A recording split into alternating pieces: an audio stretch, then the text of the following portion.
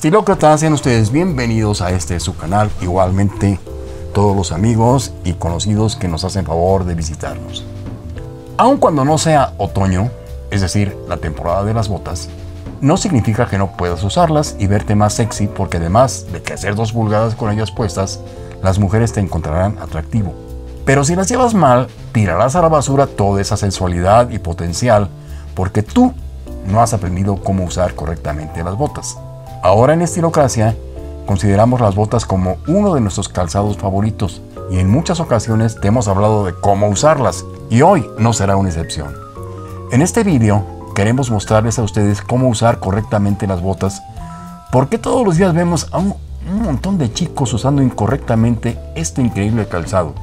Y estas son las 5 formas incorrectas de usar una bota. Pantalón metido en las botas. Tus jeans metidos en las botas es probablemente el error más grande que puedes hacer ya que arruinas la estética del atuendo. Si tus botas son altas, debes cubrirlas con el largo de tu pantalón en la parte superior de la bota. Esto crea elegancia y una ininterrumpida silueta. Es estéticamente agradable, pero no te preocupes, casi todos nosotros lo hemos hecho mal en el pasado y aprendimos a dejar de hacerlo para hacerlo bien. Botas y jeans con corte de bota.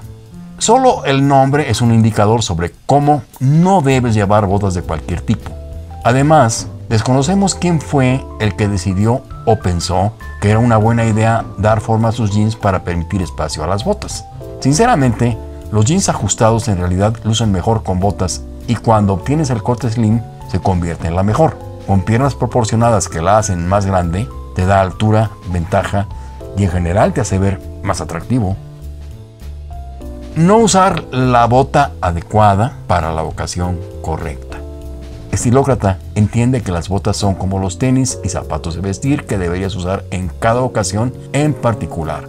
En tu vida, o de hecho para cada temporada en tu vida, por ejemplo, si tienes un par de botas chuca, tienes que entender que estos no son botas para todo clima y también que son botas que se ven mejor en situaciones formales en oposición a las botas de combate que son perfectas para los días más fríos porque te protege de la baja temperatura y también suele tener mejor agarre y tracción para cuando caminas. Es mucho más resistente en situaciones casuales.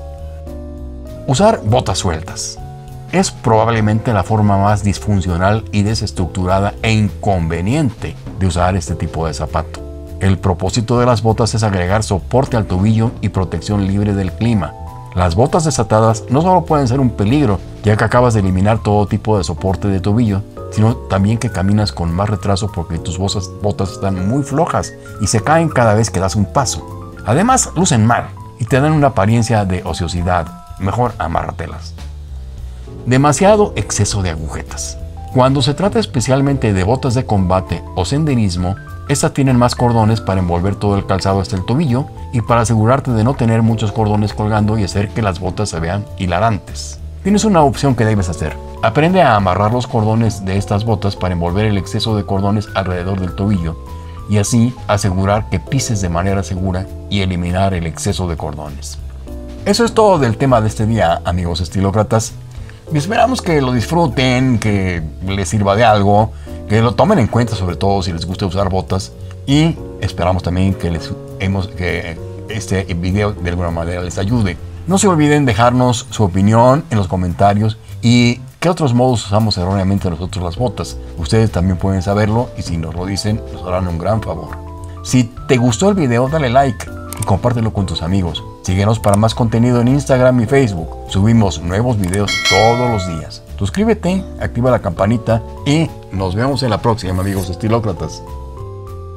Queremos ofrecerles a ustedes la posibilidad de promoverse a través de nosotros. Contáctenos al correo infoestilócrata.gmail.com Tomen nota.